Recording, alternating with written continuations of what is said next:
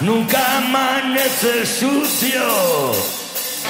Dormido en el viejo púlpito como triste final. Está